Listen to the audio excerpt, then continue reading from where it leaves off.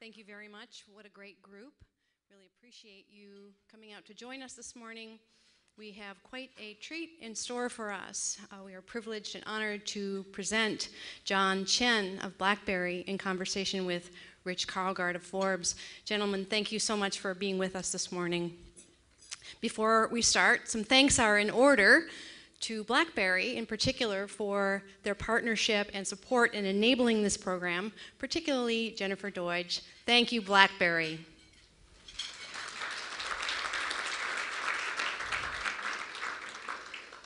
It is the mission of the Churchill Club to inspire and encourage innovation, economic growth, and societal benefit. And we endeavor to do this through the programs that we regularly convene and the audiences that we bring together. There are two programs currently open for registration. Next, we have Giovanni Buttarelli, who is the person at the EU who is uh, helping to rewrite the data privacy legislation for the first time in 20 years, of great importance to anyone doing business there. And then on September 24th, we proudly present the fifth annual Churchill's program, which is all about inspiring us by highlighting excellence. Some of the speakers that evening will be Bob, will be um, actually uh, Andy Grove, legendary former Intel CEO, in conversation with Ben Horowitz, and also uh, Ed Catmull, head of Pixar Animation Studio. So we hope that you will join us. Now, if you tweet this morning, please do use the hashtag Churchill Club and you will find other Twitter codes in your printed programs. So I would like to say a few words about Rich Karlgaard, who will then introduce our guest of honor. Rich is well known as the publisher of Forbes with regular columns and television appearances. He is also a best-selling author. His new book, co-written with Mike Malone, is Team Genius, the new science of high performing organizations, already meeting with critical acclaim. What you might not know about Rich is that he is one of two co founders of the Churchill Club, for which he was awarded a, an Entrepreneur of the Year award by Ernst & Young. Please give a warm welcome to Rich and John Chen.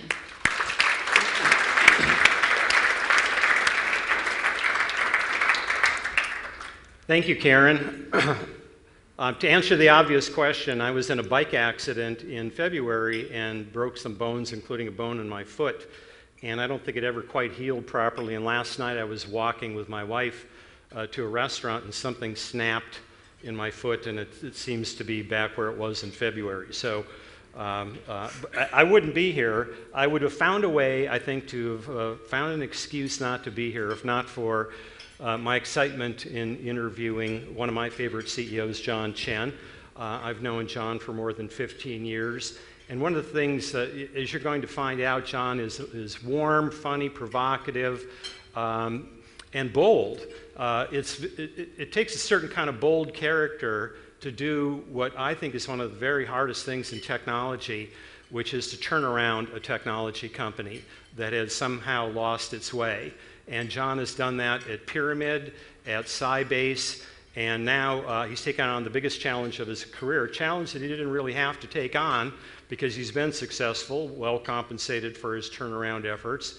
But he took on, I think, one of the most spectacular uh, turnaround efforts in the world today, uh, BlackBerry. And we're going to talk about that, uh, why he decided to do that, how, uh, what it's like to try to turn around a technology company uh, and chart a new course. Uh, we're going to talk about the Internet of Things because the, the future of BlackBerry really plays into this mega trend. And during our conversation um, earlier in the week, uh, it, I think it also uh, transpired that John has a lot of uh, interesting thoughts on what's going on in China, uh, which is a, a, a massive uh, ball of confusion right now to a lot of people in the West. just the extent of China's economic challenges right now and, and how it's going to work its way out of, out of those. And John is um, very close to that situation. So, John, uh, let's talk about the, the challenge, challenges inherent in turning around technology companies and, and, and give us a little feeling for what you did at Pyramid and, and Sybase before we get into the main event, BlackBerry. Okay, um, thank you. Um, nice to be here. Um, thank you for coming and not having an excuse when um, a couple of days ago I, I, I, wrote to somebody and I said, you know, what attire should I have put on? And I never thought of shorts. okay, I, mean, I have to say. I mean, I, I was thinking about tie, no tie, you know, like jeans, no jeans. Uh, shorts, uh, that tops it all. So uh, once again, Rich had, had outdone me. Uh, I've been interviewed, I've been a dinosaur, in the industry. You know, I've been interviewed so many times, and interviewing by somebody in shorts. that's, that's also the first time. Um, anyway, uh, speedy recovery. um, walking with your wife could be hazardous, as you could say. Uh, I have to remember that. Uh, so, okay. Uh, what was your question? you, were, you, were, asking about pyramid and Sybase. Well, right. turning um, around, the, the, the, inherent difficulty of turning around momentum-based technology companies. Uh, so I, you know, uh, there's a there's there's a lot of challenges, a lot of, of pain, um, uh, in in. Uh, so it's, it's, interesting enough. Every company is relatively unique. Um, uh, and usually is everything was going very well. Uh, usually you miss a trend. Um, and most of the time you miss a trend is because you don't take your competition very seriously. So like I know Andy Grove is coming. Andy Grove is famous for saying only the paranoid will survive, uh, which is absolutely true. And you have to you have to really think ahead and say, you know, how does this gravy train end? Right? Um, what is it like? Um, so the great thing about us in innovation business is you could fall out of grace really quickly, but you could actually get back. You know, I will refer you to 1997 Apple, uh, and then you guys interested enough, you could. Um, I, I, I, try not to talk about other fruits company that much nowadays. Um, but um, so it really is about coming with a, a plan quickly and forming a team quickly and just have the patience. You just have to grind at it because, um, like every turnaround, there was a lot of expectation, um, and uh, for people when you walk in, and um, and they also have a lot of opinion. Most people, especially your employee, thinks there's like one magical spell or something, and so and, something will just dramatically, dramatic, dramatically turn around and change the, the course. Uh, there is no such thing. There are no such thing. There isn't any such thing. Um, and when a company needs a turnaround, the execution engine is definitely broken. Um, you had good people who left. Um, you probably have to go restructure and get, um, unfortunately, some good people out of the company because you can't afford them. And then now you put a plan together, but you know, you all know that even the most well-conceived plans needs good people to execute. And if you don't have good people, it's kind of a, a meaningless set of, of plans. So, so it's, it's interesting, it's challenging, it's different. Um, when I ran Pyramid, I mean, for those people who is old enough to know who Pyramid was, uh, we literally were like one paycheck away running out of cash. Um, and, and then we did well at the end, but it, it was, um, it was unique because there was no stickiness there. Sybase lost. Sybase was actually out. I mean, Sybase. Uh, it, I remember in the uh, in the mid '80s, it was out in front of Oracle. Yeah. I mean, in, in many it, ways, it, had, it, was it was leading Oracle in in fundamental ways, but Oracle just executed to it fairly hmm. well, mm. and and blew by them and crushed them and, and all of those things, leaving them for dead. What I learned. Um, uh, you know, you, you learn this history over and over and over again uh, it's really about applications. Um, so if you look at how Pyramid got into trouble, Pyramid actually was, was one of the leading uh, Unix server technology company. Um, and what, how Pyramid got into trouble was when it was doing well, it started, it does well in its kind of the bleeding edge. Uh, I don't want to I don't want to uh, promote Geoffrey Moore's thinking, but it was, it was doing well in the bleeding edge. Then all of a sudden, uh, when the mass adoption comes in, it's usually come from application. Didn't all do all that well with the application provider, the Sybase, the, uh, the, the Oracle, the Informix, the Ingres of the world, got caught and passed by by the others, like Sequent and Data General and HP, and you know, for those people who know what I'm talking about. Um, and if you look at uh, Sybase, the same thing happened. Sybase with, with Sun was the standard for distributed computing and the right sizing against the IBM mainframe world. Um, and it was the number one installation, you know, in government, in financials, verticals.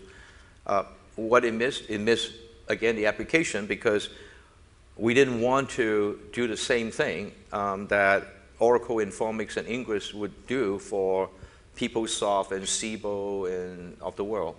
And, and then it just kind of lost the market because of, unfortunately, because of year 2K uh, phenomena.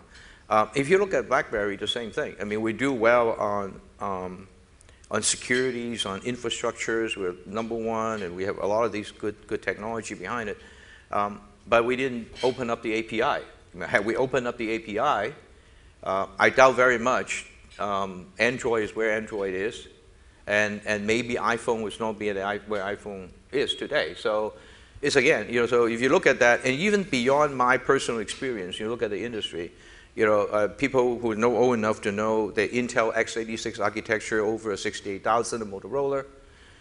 You know, Motorola has a more elegant architecture, but Intel won, well, because it runs Windows. So uh, the, the Beta versus VHS, Beta has a better quality pictures, no question. Well, didn't have movies, software, obviously that. So, you know, in, in, in any of our business going forward, we ought to really focus on, you know, the, the, the, whatever the version of the application is and what customer or the end user ultimately see. So that, that, those are, I think, the, you know, some of the experience I had. What persuaded you to take the BlackBerry job? Uh, uh, spending too much time walking with my wife.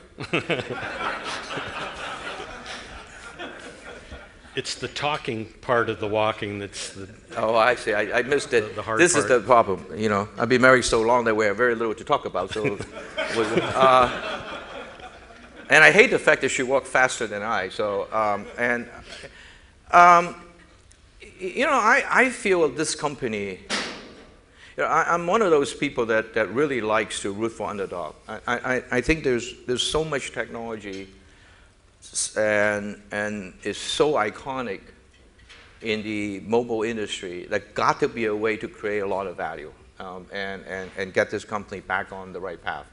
And, and it's, a, it's a huge challenge because um, you know, we have revenue sources, the biggest revenue sources all dropping because of transition from old to new. And most people will say, well, this is crazy because your revenue just keeps sliding because you can. It's one of those things that I keep telling people this is gravity. I can't stop gravity. But what I could do is to create another source of revenue, start growing. So that transition we're going through. Um, uh, that really is about the challenge. I mean, honestly speaking, if it's just a normal CEO job or somewhere, like you said, um, I, all joking aside, I, I would rather be doing something maybe less stressful and, and, and you know, more control of my own time. And, and but, um, but looking at the situation, uh, you, you, it, it's interesting. Um, I turned the situation down three times, right? And uh, until until the uh, the third time, and I finally realized the reason I keep thinking and turning it down. Normally, if you don't really want to do something, you just turn it down; it'll be done um, and, and nobody will ever race it again, and, and, and, and so forth. But, but uh, the fact that, by the third time I turn it down, I start thinking, um, uh, maybe that meant something in the heart, maybe not in the brain. I mean, you know, you, you know mathematically on a piece of paper is really a, a very, very dicey thing to do. But, but, you know, obviously my heart tells me that there might be something here that I should try it. So the, the, the, good thing about it is um, I, I, I don't need this for the resume to find my next job. Um, and um, so nobody will hire me anyway. Um, so.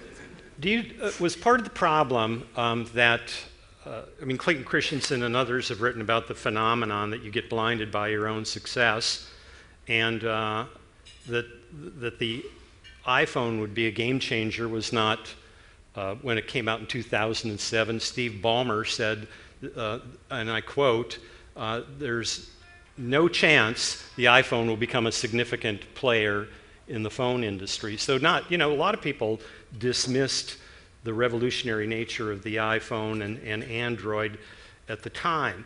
But do you think, do you think that BlackBerry was further hampered by the fact that it was in, uh, in Waterloo, Ontario? That maybe it had gotten a little parochial, that if it had been in Silicon Valley, it might have seen, uh, it might have seen the disruptive threat uh, sooner? Um, I, I, if that is the case, is a very minor, kind of a low order effect. Um, I think it might more be that it's been so successful, and it was driven by, you know, uh, the founder, who has, you know, very strong personality and opinion about what should and should not. Um, so the the kind of the collaborative thinking model was not there. I don't think it's location driven. I think it's, it's just happened to be a company that done extremely well. Uh, we, you know, um, even back to 2007, 2008, um, our company owned, the smartphone business. You know, you know, there were Crackberries or names and, you know, that's related to everybody know, you know, BBM was one of the biggest uh, messaging, um, you know, we always talk about BBME, uh, you know, it's as a term, and you know everybody will understand what that meant at the time. Um, so um, I think we, we again, you know, it's more about losing the focus on what the customer wants. When you get to a certain size and, and certain success, you start really thinking about, I know what they want. And that's, I think, is the first sign of trouble. It, you know, just, just listen to the market. Now, you don't go around asking customer every day, what do you want, what do you want, because that, that doesn't work either. So you do have to have a strategy that, that, that maximize your own strength. But there's a certain listening and, and not taking other people, you know, lightly. Um, it's, it's, I mean, we, we, we proved that. Well, let's talk about two components then of the turnaround. One is strategy, and then the other is um, wh- when you're looking at a company that is in its uh, revenues are, uh, you describe it as falling off a cliff. Um, things are uh, pretty dire. Um, a lot of people don't think the company is going to make it. Uh, who do you decide to keep, and what kind of outsiders do you bring in to inject new energy? Let's talk about that first, and then talk about your strategy uh, for the company going forward and the Internet of Things. Okay, um, decide to, to keep is actually um, reasonably easy. Um, I think there are people that it's realistic. You need to get people that, that obviously competent, but realistic and, and uh, have to share the same passion of fighting. Um, you know, not admitting failure. You know, it's kind of like, okay, it ain't finished until it's finished. You really have to have that mentality. And uh, now, does that mean that you know, we, we could identify that on day one? Uh, no, that, there isn't. That, that couldn't be.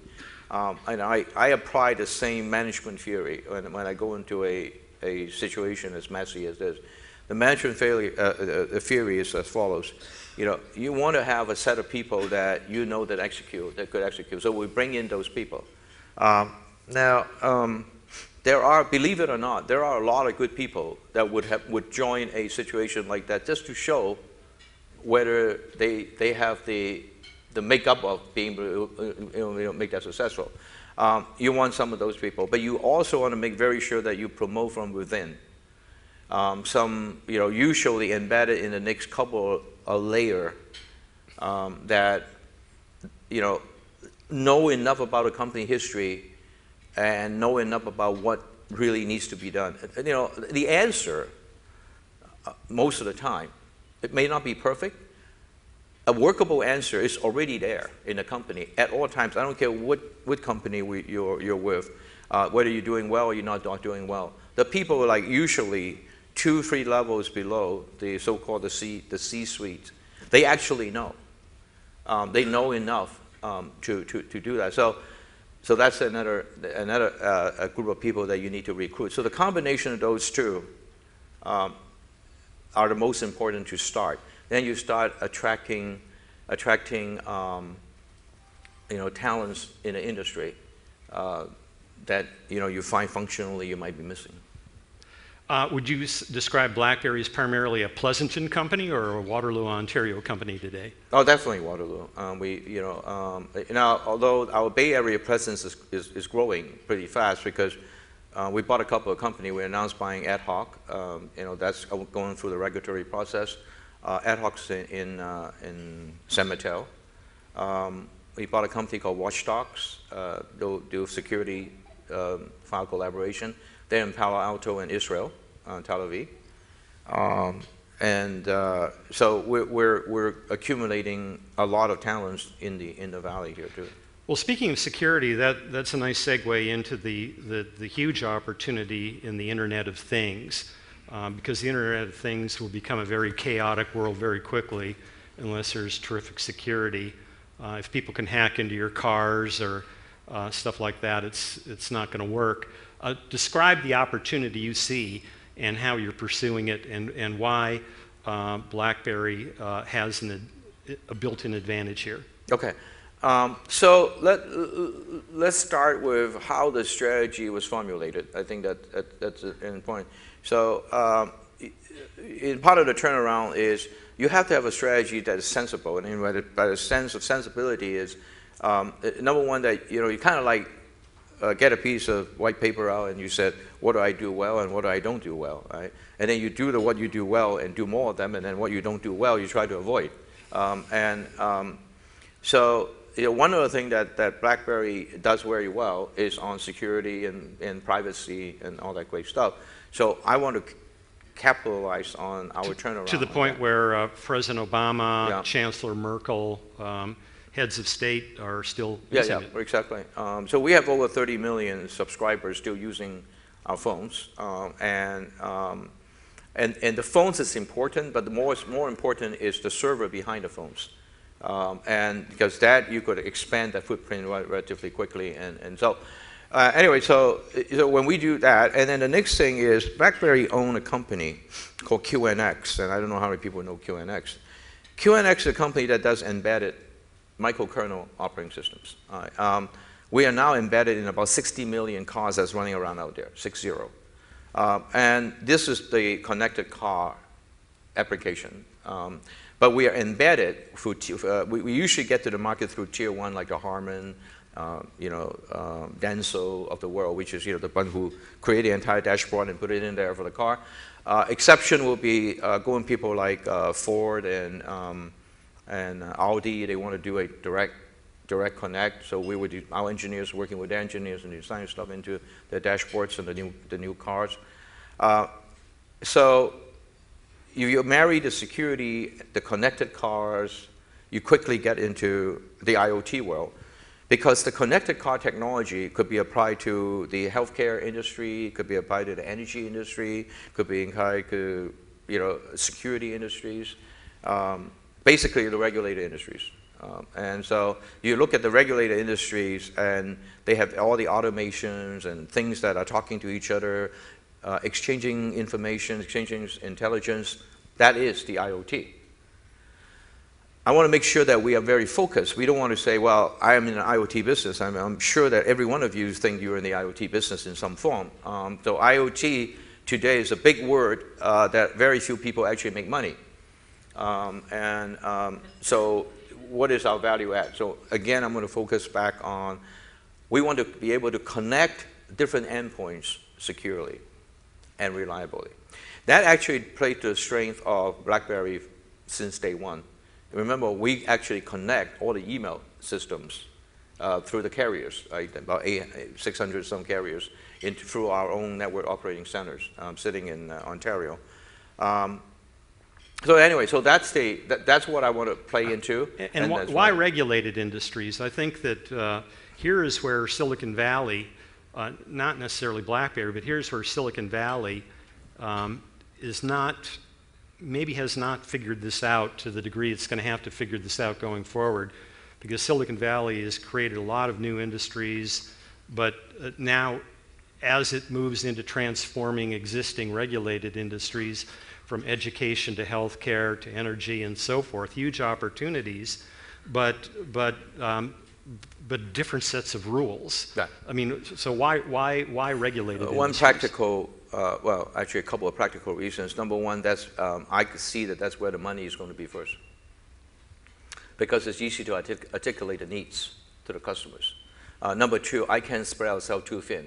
If I, if I come up with a plan that all of a sudden I'm going to go do everything to everybody, to everywhere at the same time, um, I, I'm afraid that, you know, before we accumulate enough results to strengthen ourselves, um, we, we, we got, you know, we got too scattered and, and then didn't end up anywhere.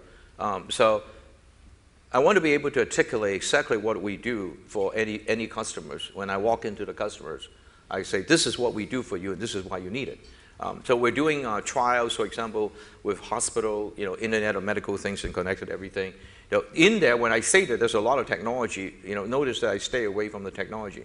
The reason why we uh, accumulate the stack, both organically and inorganically, is we wanted to be able to transfer file, messaging, data, alerts, um, securely. So we, we, we put all the technology in running, for example, a hospital.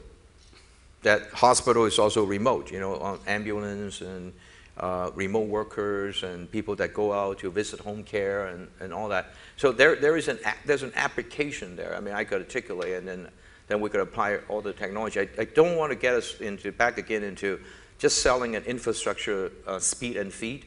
Because infrastructure speed and feed, again, I'm going to miss the, tech, the application side of the equation again. So I, I want to be very focused on, on, on that today. And what, uh, Sybase, uh, you, you had a lot of, um, uh, where you were able to steer the company after its post, uh, you know, after lose, losing market share drastically to Oracle, you steered it into uh, Wall Street, financial services. Uh, what, what, what is the key to winning in a regulated environment? I mean, do you have to have lobbyists? Do you have, I mean, what, what? No, um, no. I think regulated industry cannot take risk. You know, we in Silicon Valley always like to think that we got the latest cool thing, and somehow the customers, like the J.P. Morgan Chase or Merrill Lynch or Bank of America, or whatever, will then just want to use it. Uh, well, you know, you roll out a new set of technology to a regulated industry, they have to be, A, they're regulated, right? They got to be audited. So, and then they cannot disrupt everything they're doing today, like trading floors, which we were in. So I want to, I, I double down on that because then, then we could actually keep the customer, um, you know, believing in us and, and, and stay with us. Then you could, then you could expand the footprint that way. Um, this is the reason why. And, uh, you know, at Sybase, I knew quickly that if I, if I go after manufacturing, which was happened to be the biggest sector on database, or retail, um, I will run right into uh, Oracle. And then, you know, Oracle, IBM, and Microsoft, you know, three names that you should not take lightly. right? Um, and, and so it decided that to carve out our own space. And, and, and even then, they were all trying to come into my space, uh, so to speak. Um, and it, we were able to fan it off technology, services, everything that, you know, you know, relationship with that. But it's not about, it's not about lobbying. We'll soon open it up to audience questions, but I'm curious um, uh, why you're doing this as a publicly traded company. For example, uh, Michael Dell recognized that he had to make some pretty severe changes to the structure of, of Dell, and he thought the best way to do that uh, was not with Wall Street looking over his shoulder all the time, uh, but, but he took his company private. Wh- wh- Why are you, why are you doing this under the, under the glare of uh, uh, public scrutiny? Well, I guess there are people who like pain. Masochistic uh, term. Uh, it's a great, it's a great question. Um, uh, you know, i- i- i- for people in the financial industry here in the room, um, you, you, you know that, you know, it's not a question that I, as the CEO of a publicly traded company, could and should answer. Um, It's never stopped you before, John. Well, let me put it this way. If I have to advise uh, another person as stupid as I am uh, and doing this, uh, uh, probably it would be easier to do it under the private uh, umbrella. I would just leave it as that. Well, let's, um, if you have questions, uh, raise your hand, and you know how the, the protocol here works. How does it work, Karen? You, uh, a microphone will be thrust in front of you. Uh, raise your hand, and, uh, and we'll get going. Hi, uh, I'm an engineer, and I want to know how did you make the transition successfully from uh, engineer? I know you get a EE master from Caltech, and you're you began as a hardcore uh, engineer, and you design chips and circuits. And how did you make the transition successfully to the business side? I, I, I don't know. It's a, it's a great question. I, um, you know about, um, I mean, it was documented a few places. You know my story of how I got into management in the first place, right? Because I didn't like the fact that everybody stereotyped engineers, especially engineers from Asia, as going to be engineer forever. Um, and, um, and I thought that, you know, if other people, uh, you know, of, of, of different races and genders could do, you know, management role, and I couldn't understand why, you know, there was a certain level of stereotype. So, you know, I, I worked at it. Um, you know, I, um, um, I, I spent time on, on, on working on communications. I spent time working on learning about, you know, management histories and lessons. And, and, but at the end of the day, it's really about logic. So, um, you know, running a business about logic. You know, the, the set of numbers tell you something of the past. Okay? Understanding of technology tells you a lot about the future. Engineers have an advantage there. You understand technology. The question is, could you transition both at the same time or merge both at the same time? So, and people would think about that as both tactical and strategic. Um, I actually think the engineers already got the strategy part of it because they understand the technology, pay attention to where the market's going. Um, and, you know, engineers tend to be more introvert, maybe is the right word.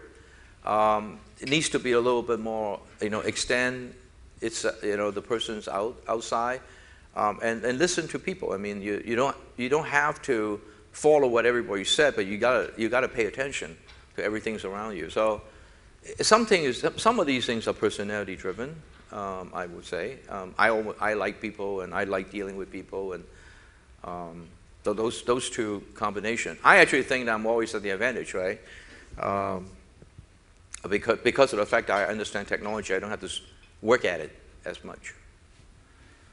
And you, really, you made this transition into management at Siemens, right? Uh, you, uh, no, at, at, at Burroughs. Okay. At Burroughs. Then became Unisys. Then I went to Pyramid through the route of Sequoia, so to speak. You know, um, and, um, uh, and and then and then and then sold Pyramid to Siemens. Went to Sybase, sold to SAP. I'm running our German companies to buy us. uh, next question.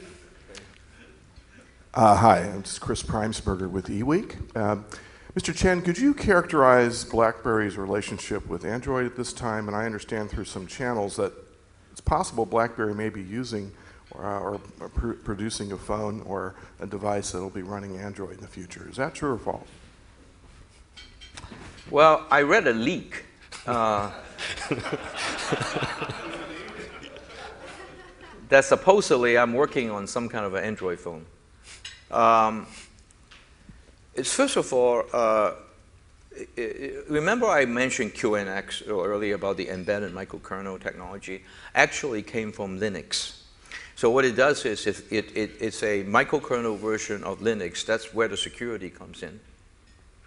And there's a lot of policy uh, input into the how you modularize that. And this is why we have the most secure Linux.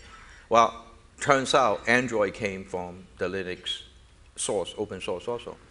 So um, it's, so it's very easy for us to put together a Android runtime uh, engine. Um, and we did it and put it on the BB10, as you all know.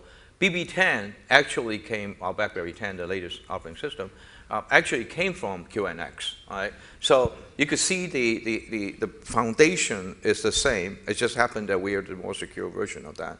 Um, so running an Android operating environment um, it's not a, uh, application is not really hard for us to do. Um, you know, the rest you have to read it from the rumor blog. Next question. Mr. Chen, good morning. Good Morning. Most people, when they today, if you ask them about BlackBerry, they still view BlackBerry as a handset devices company. Um, whereas you are, you know, we already see you transitioning that to a high growth enterprise, uh, end to end secure mobility software company. When you talk to your customers, your in the enterprise or CIOs, do they see BlackBerry as a devices company or they do see a high growth uh, enterprise software company? Oh, interesting. Very good. Thank you. Um, so uh, uh, let me turn it around a little differently. Most people doesn't understand why we're still in the handset business. Uh, and, and, you know, and I explain it time after time. There, there, there, there's, a, there's a really strong technical reasons for it, and there's a business reason for it, and then there are also some, some uh, KPIs around it. Okay, the, the technical reasons for it, the strong technical reasons for it is, you know, we are trying to build an end-to-end secure uh, environment. Right? End-to-end meaning that you have to have the device secure. Forget about a handset for a second. Just think about a device, right? So let's suppose that I put a device on a truck as a tracker. Right? It, it, it, it transmits through the LTE, location, status, whatever it is. If I dip a sensor into the water, it transmits uh, you know, on, on LTE. It won't be 2G, 3G anymore. It's gonna be, right? So, so, the, so, so the point is, we have to be in the device business in order to provide the solution we talk about, whether it's the medical world, it, you know. So now the question is, what about a phone? Well, phone is a derivative of a device. It happened to today, you know it. So a lot of people ask me about this phone business. Now the phone business um, is it's the you know our day-to-day interaction tools, and, and as you know, the phone is getting to be more powerful and more personal as time goes on. So we think there's a lot of business to be able to secure, securitize the phone. There's a lot of business to provide you the privacy, although, you know, today's world, people didn't feel like they need to pay for it, but they will. I mean, this is, this is coming. And that played to our strength. And so now I have an end-to-end personal communication environment that tie you back into the work environment. So if you look through that, all the technology that we've been working on is that. Now, are we executing flawlessly, you know, whatever? Not yet. But, but that big picture and the big direction is definitely that. That's why in the phone business. Now, the question then becomes, how long are you going to stay in the phone business if you can't make money? Now, Ina and I was talking a little earlier, there were like at least 200 phone manufacturers out there. And uh, my, my buddy John Sculley just uh, announced yet another one this week uh, called Obi, Obi, Obi, right? Obi phone, right? Uh, and you know, and I read lately, you know, the Lenovo, uh, because of Motorola, they, they now release a phone uh, under 199 bucks to try to fight with Xiaomi and all that good stuff. Really, really high quality spec, you know, from a spec perspective, right? So I have to come at a, from a software side. Now, if I can make money off the phone, okay, there's a timeline. I'm not going to tell you when, but if I can make money out the phone, uh, I will be out of that handset, telephone handset business, but I will never get out of the telephone business um, uh, in terms of software. Uh, I hope I make sense to you. And, and because when you go into the IoT world, you really do have to have point-to-point connect. So you could just do the server, you just do the server and the messaging. That's just not, that's not enough as an application. That is enough to, as a component. I, I said earlier that for this company to continue to create iconic values, you got to have to be in, in an end-to-end app space. Well, does the BlackBerry name, is that an asset or a liability for you? Because uh, as the questioner asked, Yeah. you know, it does create confusion, um, at least, uh, at least uh, uh, in the media and, and, and kind of the popular perception, and perhaps even the Wall Street perception. Yeah, um, uh, it, it, I, you know, that's something that I thought about all the time because when I spoke to customers, precisely what you just said, people just automatic, automatically assume you're in the phone business, and then, and then, and, and then they find out that you're not doing that well in the phone business, and therefore, by definition, you're not doing that well as a company. So they kind of, you know, miss the point about everything else you want to talk about. Uh, now, um, it is my belief you're, you're in better shape. You, you, you, you advise a lot of management on things um, to, to, to decide, uh, uh, to have a, a, better opinion on this. It is my belief that you never change name when, uh, an identity or project a new identity when you're not doing well. When you're not doing well, you change name is, like a little bit gimmicky, okay? Because the fundamental hasn't changed. And so, what does that mean, right? Um, so, I would say this is like I told people. I told a lot of my marketing people would like to have this discussion. I kind of put a stop to it very, very soon. It's like if my kid and if your kid is not doing well at school, you know, let's call him Johnny. Will you then one day say, You're not doing well at school, I'm going to call you Ricky? okay, I'm going to go to school and change all the transcript. You're Ricky. You think that mysteriously Ricky is now doing well in school? I don't think so. Uh, so I think the thing you ought to do is when you do well and people say, okay, this is now an established company, let's see what they do that are interesting. Okay? And you actually could deliver that. It's not out of question that we could create a spin-off in an entire business that, let's say, you know, Hospital Automation Inc., whatever they call it. I mean, I'm making it up as I go. Uh, and I think this is, um, it's timing. I, I, I don't want to. I don't want to describe a new new name. You know, I got friends to change. You, you folks have been around long enough to understand. You know, SCO changed to SCO. Uh, Santa Cruz operation and changed it back to SCO. Did it help? I, there are others that still in existence. I'm not going to say anything because I'm going to get hate mail uh, if I do. But anyway, moving right along. Next question. Richard Bliss uh, with NetApp. Rich, John, thanks for being here. Hi.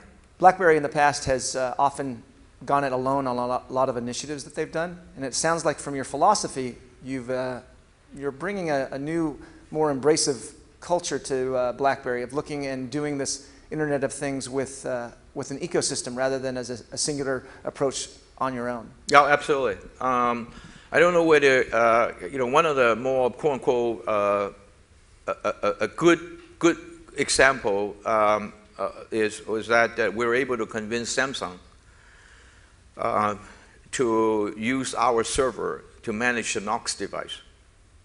Now, if you sit back and think about what in the world you're doing, because Knox device is actually a direct competitor of my, of my high-end regulated industry phone business. Uh, we did the same thing with Blackphone at Boeing.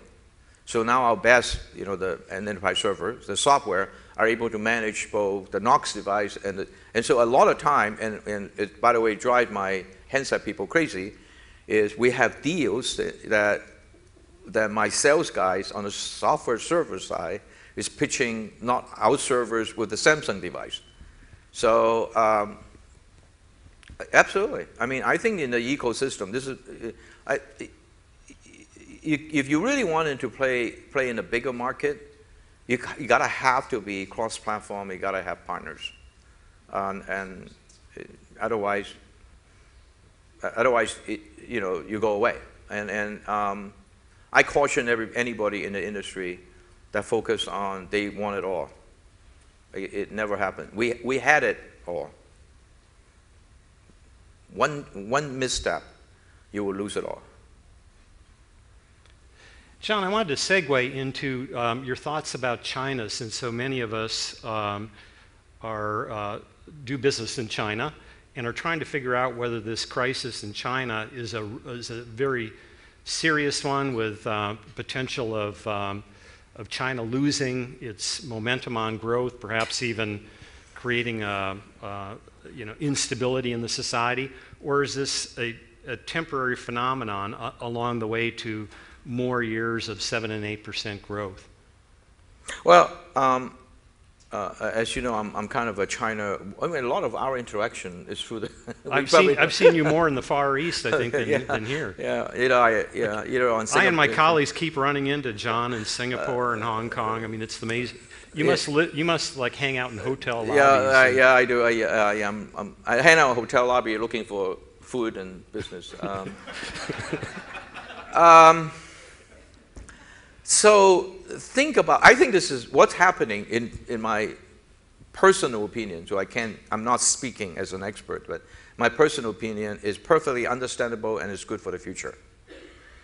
So the question is, what is actually happening, right? What's happening is that um, the China market is reflecting the slower growth. That's what, that's what is really happening. And all the other tension and everything around it, it is whatever it is. right? Um, so if you think about a Silicon Valley company, um, you know, you have a, a startup company that was able to grow 80%, 100% year over year, and you could grow it for a little while, and then the company become very big. Um, let's just take uh, Oracle, for example. You know, now I, I, Oracle wouldn't be able to grow 83%, 100% year over year because sheer their sheer size. Okay, that doesn't mean Oracle is a bad company. That doesn't mean I mean Oracle is going to go away.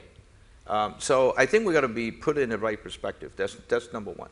Number two, perfect opportunity to shake out the uh, the, the weak versus the stronger company. And, and you ought to. You, this ought to happen because if it, do, if it doesn't happen, uh, uh, you know, there's a, uh, then, then there is a um, structurally damage to the economy because where they are harboring the not so strong company, i.e., a lot of time the SOE, the stable enterprise.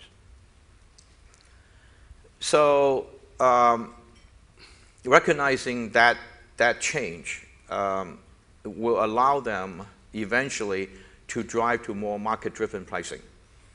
When they drive to more market-driven pricing, it will allow them to get into the so-called XDR, the, uh, the, the, the IMF definition of the currency basket. When that happened, um, I think China, uh, not only status, but I think the economy, it will pick up. Um, and the structure of the economy will be much more sound. So uh, going through this process could be painful, um, but I see nothing wrong. So put the right last point about perspective, put it in perspective.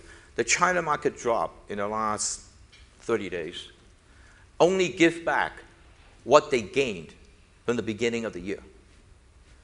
They're back to 2014 level. So is that a, oh my God, you know, let's jump out a window? I don't think so. If you look, you, you look at their charts, um, I, I think there's still a lot of problems at this level. It, it, I don't think it's truly reflective of the, I think it's overvaluing what the business are today. Well, we in the West uh, look at China and we see a country where it's really difficult to uh, discern whether they are really moving forward, where uh, Xi Jinping is a, a real reformer, or whether he's panicking and going backwards. Uh, because when you look at the increased press restrictions, um, there, there is no mention of the Chinese stock market in the, uh, in the communist approved newspapers in China, right? It's forbidden to mention the stock market, even though it's, you know, it's dropping like a rock. Yeah, um, so, so I don't want to be a, um, a panda hugger. So, so I'm going to be cautioned in what, I, what, I, what I'm going to comment on. Um, so you, you, you got to realize that China is a one-party system. A, a one-party system care the most is about whether the people uh, are thinking alike or differently. Uh, different information, free, freedom of informations doesn't help in that, in that scenario.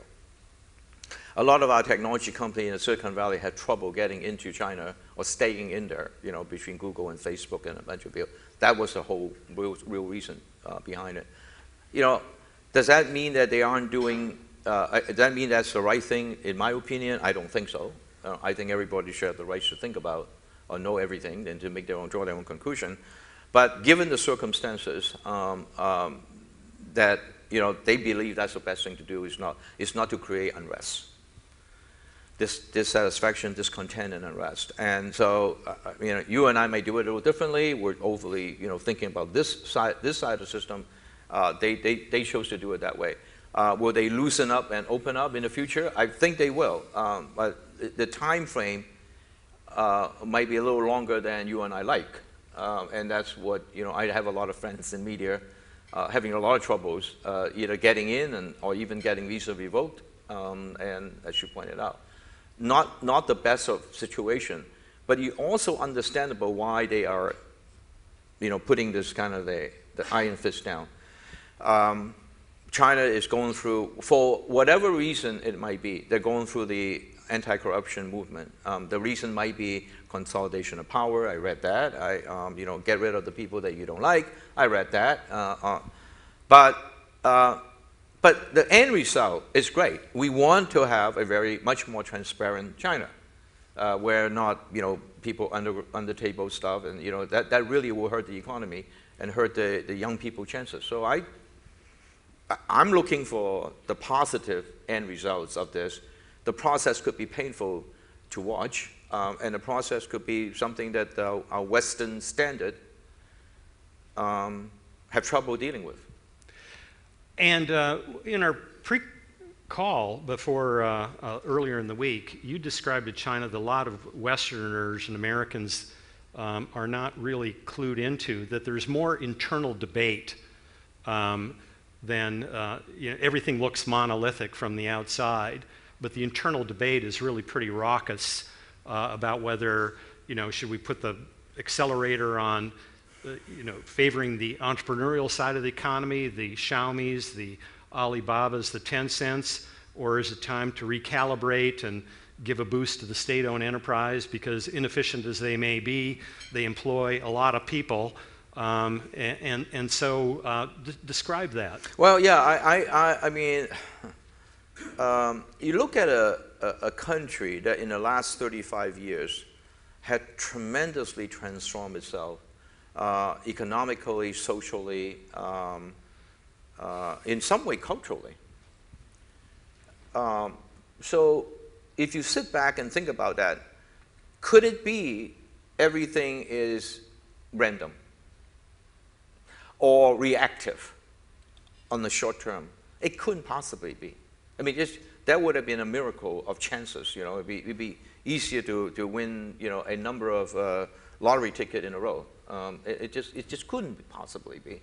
So, you know, they are, and, and also, I, like you, know a number of, um, you, you know, uh, decision makers um, in, in the Chinese uh, um, uh, government and the Communist Party.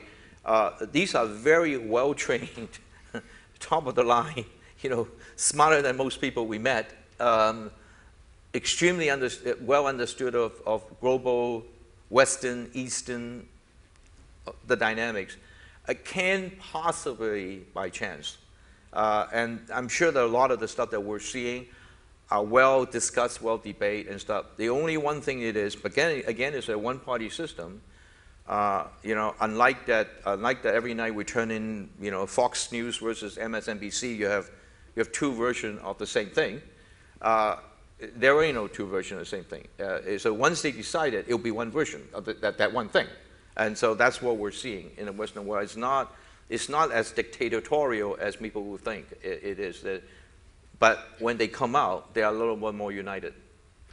Well, thanks for that perspective. I interrupted this fascinating discussion on the Internet of Things, but I, but I know that China's on everyone's mind right now. We do have time for a question or two uh, before we conclude. Um, uh, so next, next question. Hey, John, not to go back to the handset business, but going back to the handset business, I'm curious if you can talk about what, pardon me, what you think your customers want today from a handset. Are Google services important? Can you do Google services under the same kind of structure you've had, or would you have to run a different kernel? Notice how I avoided saying Android. Um, well, if I answer that question, I might as well answer the earlier question. Sure. Uh, but, uh, but thank you for the question. Um, I, let me, may, maybe I'll answer the following way. Uh, I think we made very, very good phones. Uh, you know, we have two phones uh, uh, since I joined that I feel very, very proud of. Um, um, by the way, by omission doesn't mean I'm not proud of the rest of the phones. So, so please. Um, but um, the Passport and the Classic, um, for their reason. Um, we interview, you know, I, by all that, by any definitions, uh, it's not a runaway success. Okay, and it, it not bad, but it's not a runaway success. Um, so we interview the users and and and try to understand, you know, what's what's what's important to them. and, and it was like five different criteria and all that security and all that stuff. The one thing that was important to them was application, uh, and we don't have a lot. We have a deal with Amazon. It runs the Amazon apps, uh, uh, app, app stores. We- you know, BlackBerry has our own app stores, but it's not competitive uh, to the Google Play or the um, uh, iPhone iTunes store. So, for example, so um, so we're working hard at that. Um, I'll, I'll just leave it as that. Um, it's a lot more uh, complex than most people would give it credit to. Because if it's not, it, it's one of those the Communist Party com- uh, uh, answer. Let me put it this way: uh, given the fact that I already acknowledged it, uh, and you know me long enough to, you know, it's not like I'm sitting sitting in my office practicing putting. Uh, since I already acknowledged it, um, you know, obviously I, I, I'm working hard at it. So it's a little bit more complex why it is not done. So, um, so and, and, and in due time, I, I would explain that. Oh, You could remind me. That. Uh, last question. Um, John, thanks for coming in your hectic schedule. And Rich, I hope you have a speedy recovery soon. Thank you. Um, now, your company has 44,000 patents and with probably one of the best in the security area. And, have, and with the proliferation of Internet of Things, probably you can license it to make money. Have you considered using it like what IBM has been doing um, that would directly hit the bottom line using your intellectual property? Yes. Um, I've not only considered, uh, we, we have started the process. Um, we have a cross, um, um, uh, cross licensing on all patents with Cisco uh, last quarter. So, um, and, uh, and Mr. Chambers was nice enough to give me a little bit of money um, on that. Um, so yes, we, we, we, is one other thing that I wanted to do is to be able to license uh, our patent. Um, and this is a very tricky area, um, but those of you who are in the legal business, you know, you don't want, we definitely will not be and don't want, don't ever want to be a troll. Okay? So that's, we have every ability to become that because of our 44,000 patents. And a lot of our patents are LTE-based patents. So, you know, um, it's called the essential patents in- the, in the telecommunication world. Um, so, but that's not a good, you know, that, that's definitely a bad business to be in, in my personal opinion. Being an engineer myself, I don't want to do that at all. Okay. On the other hand, we should get, um, we should be able to have people pay for using our technology, and they should be encouraged to use our technology. So th- there lies the how aggressive are you going to be uh, at that licensing business, for example. And um, uh, IBM has a good balance on that, uh, like you pointed out. And I think that that's a good model to have. Um, that then, if you want to go through that model, it takes time. Because that model is really engineers to engineers sitting down, really trying to figure out what the designs are and, and how you could use it and deploy it and, um, and protect other people's invention and stuff. So it's a, it's a time-consuming model. But it, that's the right model to be at. But, thank you. Well, thank you, John. I always feel in talking to you that uh, we, you're always willing to pull back the curtain and uh, tell us how you think about the decisions you've made. Drive my, drive my PR people crazy. Yeah, I, I could see the grimace looks on the PR people. You had to see it uh, occasionally flashing up. But uh, thank you for uh, a really entertaining and educational hour. Well, no, thank you. Thank you. Appreciate it. I always like chatting with you. So, well, speedy recovery. Don't, don't Thank you. Thank don't you. stand up.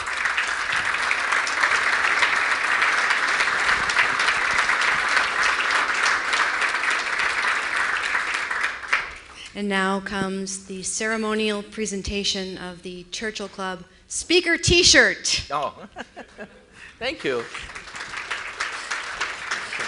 Please, Thank you. please wear that in very good health. I really appreciate your candor, and I hope that you, I believe that all of us in the room have found this a most productive start to our day. Uh, a recording of this program will be available soon on our YouTube channel, where you will find recordings of most of other Churchill Club programs also. You have been a wonderful audience. Thank you so much. See you next time.